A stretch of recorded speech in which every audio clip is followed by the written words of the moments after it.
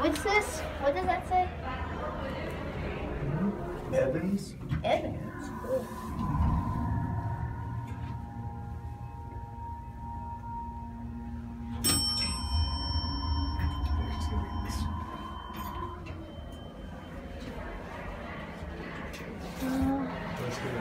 Cool.